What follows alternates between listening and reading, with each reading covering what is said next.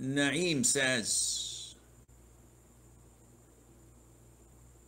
he wants to know, is it permissible to rent my wedding hall with other religions, for example, Hindus or Christians, to do wedding ceremonies? The answer is no.